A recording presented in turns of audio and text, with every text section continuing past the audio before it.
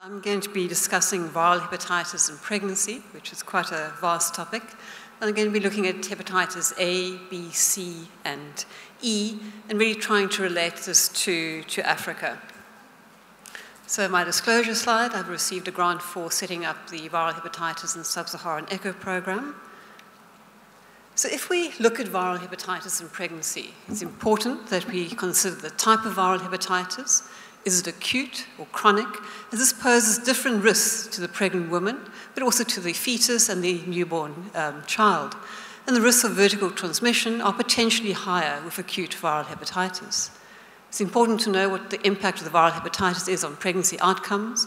What is the risk of vertical transmission? Is this intrauterine, intrapartum, or at postnatally? And importantly, if we look at the top three differential diagnoses, obviously liver diseases of pregnancy, such as preeclampsia, HELLP syndrome, and acute fatty liver of pregnancy. But always remember drugs and toxins, and particularly in young women, autoimmune hepatitis. And acute viral hepatitis is probably the most common cause of jaundice in a pregnant woman. So starting with hepatitis A, as we can see from this map, oops, sorry, in Africa, it's really endemic. So most of it is acquired in childhood and is asymptomatic. But unfortunately, we still have pregnant women presenting with acute hepatitis A, and they've probably acquired this from their young children. So unlike hepatitis E, hepatitis A during pregnancy is usually not associated with serious maternal or fetal outcomes. However, in the second and third trimester, gestational complications can occur, such as an increased risk of placental abruption, premature rupture of membranes, and preterm labor. In terms of vertical transmission during pregnancy or puerperium, this is rare, and this is thought to be due to the IgG antibodies which cross the placenta in the initial stages and then provide protection to the infant after delivery. And unfortunately, rare cases of intrauterine um, infection have been reported, particularly if it's acquired in the first trimester. And this has really significant poor outcomes with fetal ascites, meconium peritonitis, and these infants, if they're born, have, have jaundice. Um, and even distal ileum perforations have been described. But there's no teratogenicity reported. So obviously prevention is key. If we have somebody who's pregnant woman actually traveling to an endemic area, one should consider vaccination. This is entirely safe in pregnancy. It's important to administer the immune globulin if a pregnant woman has been exposed to somebody with hepatitis A. And if the infection is in the third trimester, it's important that immunoglobulin is actually administered to the newborn within 48 hours of delivery. Management is supportive, and there's really no indication for termination. Vaginal delivery and breastfeeding are not contraindicated, but need to remember this is infectious, and one should probably isolate the mother and the neonate, and nosocomial spread has been documented in maternity units and neonatal ICUs. So moving on to the big one, hepatitis B. So we look at this map, we see how problematic it is in Africa. In red, it's over 10% seroprevalence. But in that inserted map, you see in under five-year-olds, the really mirrors the prevalence in all ages. So it's really important that we look at maternal to child transmission and early childhood acquisition under the age of five. As we know, the prevalence in sub-Saharan Africa, according to WHO, is about 6.1%. So if we look at the global E antigen prevalence, this probably accounts for 20 to 50% of women of the childbearing age. And 50 million new cases are diagnosed year, each year, and most of this thought to be as a result of mother-to-child transmission. This was a systematic review and meta-analysis looking at pregnant women in Africa. They looked at 145 studies, nearly 260,000 participants. And here the prevalence in pregnant women was 6.8%, and of note, 19% of those were E antigen positive. And as was expected, the prevalence actually varied in pregnant women across the different areas, being highest in Central Africa at 9.7%, followed by Western Africa at 8.3%, and then lowest in Southern Africa at 3.8% and Northern Africa at 2.8%. As was expected in the systematic review, the, pre the, prevalence was higher in rural areas than in urban areas. And then it looked at a meta-regression analysis, and this showed, as was to be expected. If you look at the prevalence, it increased with decreasing gender index, development index, the male's level of education, decreasing females' expected years of schooling, and increasing with the gender inequality index. The prevalence was highest in rural Western and Central Africa regions and was this related to weaker healthcare systems. We know in these regions that HIV infection controls are problematic. And the prevalence in pregnant women in Africa was really similar to the general population. So screening of pregnant women is really essential. We need to do this in the first trimester. Women who are not immune should actually be vaccinated. Vaccine is entirely safe. And if you have ongoing risk behavior during pregnancy and the surface antigen status is unknown, it's recommended at the time of delivery you check for the surface antigen. Those who are surface antigen positive should be referred for additional testing, counseling, and medical management, looking at e-antigen, DNA levels, and LFTs. And once again, this really reinforces the need for us to be able to have point-of-care testing to assess viral replication. But importantly, this is an important point in time where you can actually break cycles in infection by actually screening partners, siblings, and children.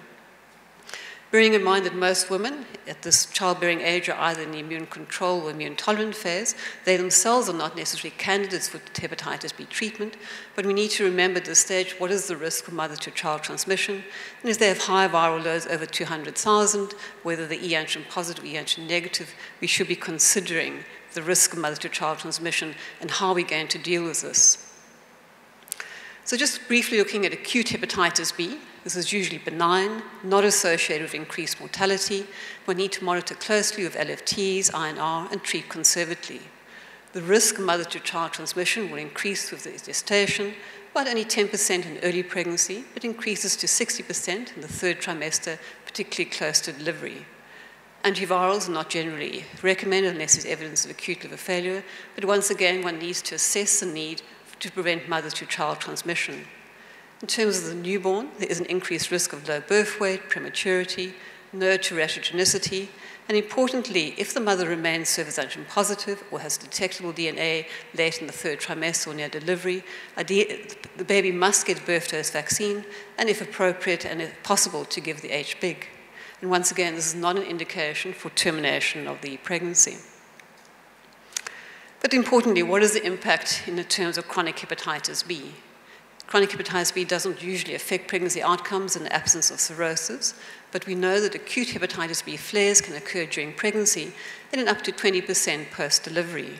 These flares are thought to be related to immune reconstitution, are more li- E antigen positive women are more likely to have flares, and may, this may be associated with spontaneous E antigen clearance in nearly 17%. And the E antigen seroconversion is not related to age, parity, or the presence of mutations. DNA levels may increase, but usually actually remain stable during, uh, um, during pregnancy. So we know that women can become pregnant with compensated cirrhosis, and unfortunately, immunologic, metabolic, and hemodynamic changes may unmask cirrhosis. But once you have cirrhosis and portal hypertension, there's a significant increased risk of decompensation, variceal bleeds, and death, particularly from the second trimester onwards. And the decompensation has, risk has increased. Field MELD scores greater than or equal to 10, and this has been shown to have almost 83% sensitivity and specificity to predict the risk of decompensation prior to conception. So one needs to screen for varices in these women in the second, from the second trimester onwards. The risk of a variceal bleed is up to 25%. One needs to band as necessary and consider the use of beta blockers, bearing in mind that they do have a risk of impairing intrauterine growth. In terms of the impact of chronic hepatitis B on pregnancy, Obviously, these women are less likely to become pregnant as a result of anovulation, amenorrhea, infertility. But if they do become pregnant, there are increased maternal complications such as uh, proteinuric hypertension, placental abruption, peripartum hemorrhage, premature labor, and spontaneous abortion. And infants are more likely to have intrauterine growth restriction, prematurity, and stillbirths at a rate of about 5.2%. So, what about treatment in pregnancy? Well, if you, the treatment guidelines and indications remain the same. If you're E antigen positive, E antigen negative, active disease, and hepatitis, you require treatment. If you have been detected to be hepatitis B positive and you're considering pregnancy, probably tenofovir still in our setting is what you should be opting for. Ideally, one should have viral suppression before entering pregnancy. This will decrease the risk of mother to child transmission. Some women might opt for pegylated interferon, but I think in our setting, particularly in Africa, very few women will meet the appropriate clinical criteria where, where interferon therapy will be effective. If you become pregnant whilst on treatment, one needs to assess what is the individual on. If they're on tenofovir, this should be continued. If they are on entecavir, one should switch to tenofovir. And remembering that tenofovir has an excellent safety record in pregnancy, as been documented in HIV pregnant women, with really no increase in birth defects um, compared to the general population. So the big thing is, is mother-to-child transmission. Intrauterine or transplacental transmission probably only accounts for less than 5%. And it's probably associated with breach in the placental barrier. Hepatitis B has been demonstrated in villous capillary endothelial cells in the placental trophoblasts. And it's thought that there's mixing of maternal and fetal blood at the times of preterm labor or spontaneous abortion. And once again, as expected, high hepatitis B DNA levels are obvious risk factor. But the main problem is perinatal transmission. So the risk factors, as we know, e antigen positivity, high viral loads. And it's been shown in a number of studies women under the age of 25 are at greater risk. And this probably reflects that they are antigen positive with high viral loads and therefore much more infectious. And I think in most of our regions, we need to remember the impact of HIV. These women are more likely to be three times more likely to test positive for DNA, have much higher DNA levels, and twice as likely to test positive for surface antigen. And a study, one of the studies from Africa has shown that the risk of mother-to-child transmission of hepatitis B is increased 2.5-fold. And once you're infected perinatally, as you know, the risk of chronicity is 90%. So why is it important? This systematic review showed that an early age of infection was associated with an increasing probability of chronic infection, but importantly, worse outcomes in terms of HCC and cirrhosis. A similar longitudinal study in the Gambia showed the mother-to-child transmission was a risk factor for persistent high viral replication, significant fibrosis, and the development of HCC. So we really need to be addressing this transmission and break these cycles of infection.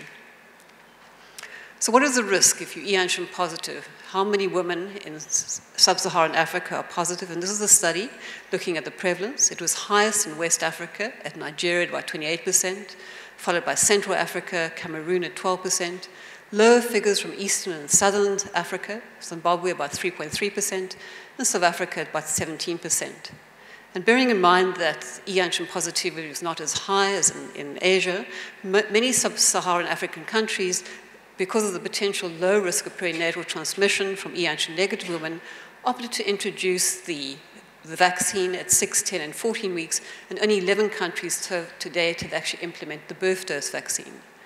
So it's important, even though the rate of transmission in sub-Saharan Africa from E antigen positivity is low at 38% compared to figures quoted from Asia at 70 to 90%, what we see is that, in fact, we should not be reassured by this. This is a study from 11 African countries looking at the transmission, modeling what is the prediction of prenatal acquisition of hepatitis B. And you can see there in red it's 360,000, almost double that of HIV. So we really need to actually be addressing this problem very actively. So how can we present it?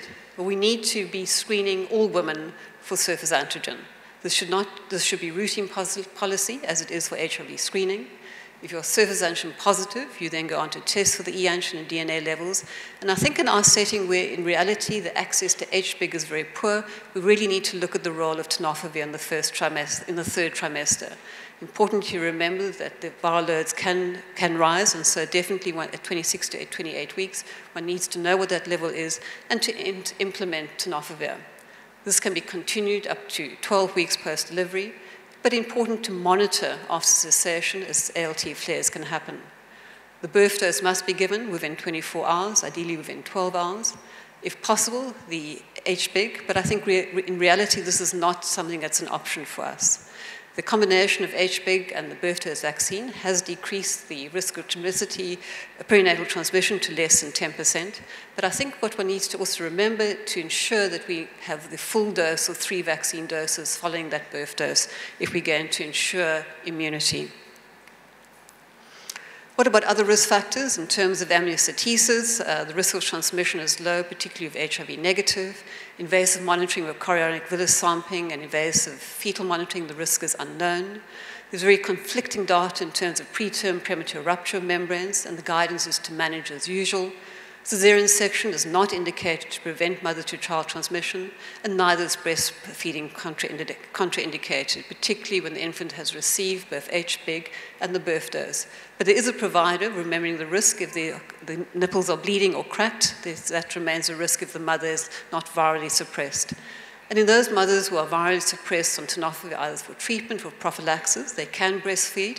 Although tenofovir is excreted in the milk, the concentrations are low. And to date, we haven't seen problems documented in terms of the infant uh, poor outcomes. So moving on to hepatitis C, as we know, the global prevalence is 1%, approximately 71 million in sub Saharan Africa being infected. And if we look at the worldwide estimation, it's estimated about 8% of pregnant women are hepatitis C infected. This was the similar review as was done for hepatitis B, looking at pregnant women in Africa. Here we looked at the prevalence here was 3.4%, and of those who were antibody positive, 62% were actually viremic. And the prevalence actually varied in, and between, between and within countries, from 0.4% in Ethiopia to 7.4% in Benin. And in Egypt, the studies varied. In 2017, a study reports 0.7%, and in a later study in 2000 of 19%. As was expected, the prevalence also differed in different regions, the highest in North Africa at 4.6%, and the lowest in Eastern Africa at 2.1%. The study here showed that the prevalence was higher in the general population than in the general population, and this might relate to the exposure of pregnant women to unsafe medical or traditional procedures. Unlike hepatitis B, there was really no difference between rural and urban areas. Another interesting fact showed that the, in the study that the prevalence actually increased the decreasing portion of women, of seats held by women in parliament, showing that all of us should actually aim to, to get into these positions of power. So, who should be screened? I think there's no real policy now in terms of screening all pregnant women, but definitely, if you're at risk, you should be screened at your first prenatal visit. This should be repeated if you're negative and there's an ongoing or new risk. And if you're hepatitis C antibody negative, but there's been potential exposure within the last six months, it's ideal to do the PCR. In terms of the impact of hepatitis C, of pregnancy on chronic hepatitis C, as we know, there's thought to be a downregulation of the maternal immune response during, during pregnancy. The ALT levels tend to decrease during that second and third trimester and then return to baseline after delivery. And the RNA levels may increase during that second and third trimester. And the data is really conflicting in terms of fibrosis progression during pregnancy. So, in terms of post delivery changes in chronic hepatitis C, there have been reported cases of quite significant decrease in hepatitis C viremia one to three months post delivery. And this thought this might relate to broader hepatitis C specific T cell gamma producing responses, and in fact, even clearance of hepatitis C postpartum have been reported. If we look at the impact of pregnancy on acute hepatitis C, in the reported cases, the majority is, jaundice is present in the majority, but this obviously reflects diagnostic bias as pregnant women presenting with jaundice will be tested for viruses. Asymptomatic acute hepatitis C is difficult to diagnose in pregnancy unless there's been a clear exposure risk. Immunomodulation might actually favor viral persistence, and it's unknown to date whether acute hepatitis C increases the risk of mother to child transmission or is associated with more adverse pregnancy outcomes. So, what is the impact on chronic hepatitis C on pregnancy outcomes? What has been shown that hepatitis C pregnant women of childbearing age undergo premature ovarian senescence. They've shown to have menopausal levels of anti-Müllerian hormone, which is an accurate mark of ovarian reserve, and a greater risk of mortality, uh, of infertility, infertility with a fertility rate of 0.7% compared to 1.3% in hepatitis C negative women. They have higher rates of gestational diabetes, preeclampsia, and miscarriage. And in terms of the infant, preterm labor, fetal growth restriction, low birth weights, and fewer live births occur. It's important if we actually diagnose these women early, treat them before they enter childbearing age. In fact, the adverse incomes decrease, including the risk of miscarriage. This is a very interesting um, entity, intrahepatic cholestasis of pregnancy, and the association of hepatitis C. The systematic review screened for hepatitis C in pregnant women presenting of ICP. And here the pooled odds ratio for ICP, if you were hepatitis C infected, was 20.4. But even more interesting, the pooled odds ratio of late hepatitis C infection amongst ICP patients was also elevated at 4.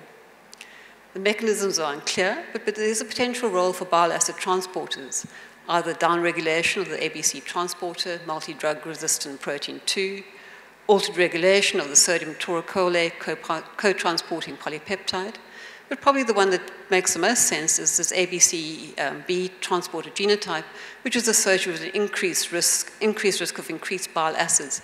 And this was found to be present in 40% of hepatitis C infected patients. And this polymorphism is also present in ICP. And this may explain the association of ICP and hepatitis C both before and after pregnancy. So in terms of mother-child transmission, this is the commonest route of acquisition in children. The risk about 6% in mono-infected mothers, 11% of HIV and co-infected, and reported rates of 4 to 8% if individuals are on antiretroviral therapy. Higher viral loads have been shown to increase the risk, but there's no association with genotype, and there's no apparent hepatitis C cutoff for increased transmission risk. The vertical transfer can occur potentially during pregnancy, during delivery, or in the neonatal period. And interesting, the transfer of hepatitis C infection to female infants may be twice as high as those to male infants. So what about other risk factors in terms of invasive prenatal diagnostic testing? There's very limited data on the impact of viral load, but amniocentesis is recommended over chorionic villus sampling. In terms of the mode of delivery, there's been shown no association between the mode of delivery and a vertical transmission in the systematic review. But importantly, this did not distinguish between elective or emergency seizures, and most studies did not assess the hepatitis C viral load at the time of delivery. In terms of labor management, there's an increased risk of transmission with internal fetal monitoring, prolonged rupture of membranes more than eight, six hours, and with an episiotomy and cesarean is not, based on viral load, is not advocated. In terms of breastfeeding, breastfeeding does not affect the risk of mother to child in monoinfection, although they suggest that it might be increased in HIV co-infection. And once again, one needs to be careful in the setting of cracked nipples and or bleeding nipples during breastfeeding. So no infants were actually born to hepatitis C positive mothers. It's important to screen them. They would be considered to be infected if their RNA is positive on two occasions in infants more than the age of one month of old. And if one's going to do the antibody testing, it's important to do this much later because it might reflect the mother's antibody. So we want to look at testing for that over the age of 18 months. Infected infants tend to do well. Severe hepatitis is rare. But I think importantly, the FDA has just approved soft adiposphere in the form of oral pellets for children over the age of three for genotype 1, 4, 5, and 6. So in terms of DAAs in pregnancy, there's no published data on the safety or efficacy. Treatment is usually delayed after, until after delivery unless in a trial situation. But recent phase one study data suggests that there were no adverse events in women treated with soft in the third trimester. So importantly, one needs to identify women of childbearing age where they're infected. One needs to treat them prior to pregnancy. And importantly, always to remember to screen for other sexually transmitted um, infections. So moving on to the last virus, hepatitis E. In red, you can see where have outbreaks occur. And if we look at the IgG prevalence in Africa, once again, this varies. Highest in North Africa at 50%, East Africa at 35%, West Africa at 16%, and Central Africa at 10%. This systematic review and meta-analysis looked at 22 studies, 12 African countries, and 8,000 pregnant women from Northwest, Central, and East Africa. And here the pooled IgG prevalence for hepatitis E amongst pregnant women was 29%. The highest seroprevalence documented in Egypt at 84%, and the lowest in Gabon at 6.6%. Prevalences also varied within countries, so studies in Egypt range from 45 to 84%, in Ethiopia from 31 to 58%, and from Sudan between 12 and 61 percent. And the number of outbreaks have been described in Africa as listed here. In the study for this map, you can see that there's many genotype 1 and 2. And if you look at the circles, this shows the size of the epidemics, and some in some areas up to 10,000. So this is the one virus really that can have severe consequences for both the mother and the child. This is a systematic review from most of the studies were from India, and they were hospital-based, so this was sicker patients. But here the median mortality, uh, maternal mortality was 26%, fetal mortality 33%, neonatal case mortality 8%, and the median prevalence of fulminant liver failure was as high as 45%. And not unexpectedly, these had the highest case fatality rates. So it's been estimated in developing countries that hepatitis E accounts for nearly 3,000 stillbirths, but probably more if one takes into account those linked to antenatal maternal deaths. In terms of those studies in the systematic review reported on preterm labor, the median prevalence was 51%, premature rupture of membranes ranged between 9 and 11%, postpartum hemorrhage between 13 and 30%, low birth weights between 57 and 86%, and the vertical transmission here was significant from 27 to 78%. And importantly, in hepatitis E, the severity increases with gestational age is maximum in the third trimester. Maternal mortality is usually as a result of acute liver failure, or as well as a complication of hypertensive and renal complications. This small study on vertical transmission showed that the transmission was 46%. There was really no difference if the mothers were, had acute viral hepatitis or whether they had acute liver failure. And the only predictor here was the viral load. In fact, they estimated the cutoff at 13,000 was highly predictive of actually having vertical transmission.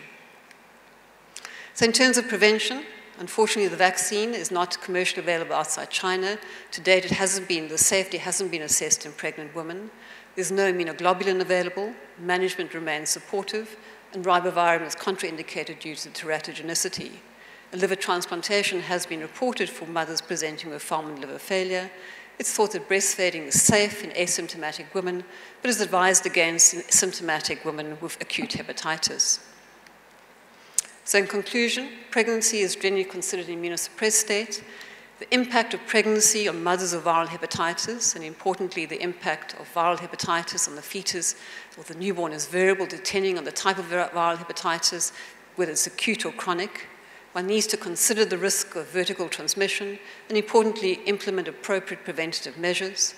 In general, mother to child transmission is not increased with amniocentesis or vaginal delivery, Caesarean section not, should not be recommended to prevent mother to child transmission. And breastfeeding is on the whole considered safe for chronic hepatitis B and C with the proviso that they are virally suppressed in terms of hepatitis B and they don't have, and the risk of transmission with cracked and bleeding nipples. And then importantly, hepatitis A and B vaccines plus immunoglobulin are entirely safe in pregnancy and should be implemented as is appropriate. Thank you very much.